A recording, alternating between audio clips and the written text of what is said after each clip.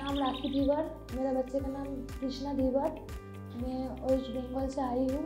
हाँ मेरे बच्चे का आँख में रेटिना ब्लास्टोमा था। हम लोग को पता नहीं था तो जब मालूम पड़ा तो सर ने हम एप्पल हॉस्पिटल में आया तो एप्पल हॉस्पिटल का रेड्डी सर ने पूरा ट्रीटमेंट किया, उसका रेडिएशन पूरा किया। सर भी बहुत अच्छे हैं, और एप्पल हॉस्पिटल का जितना भी स्टाफ है इसका जो जो सर रेडिएशन किया है, हेल्प किया है, हमको बहुत अच्छे तरीके से किया है। एकदम बच्चे को एकदम पूरा प्यार से, एकदम कुछ भी हमको मालूम नहीं चला कि हम बाहर से आए हैं। एकदम पूरा आपने जैसा करके मेरा बच्चे का ट्रीटमेंट किया और रेड्डी सर को मेरा बहुत बहुत धन्यवाद है।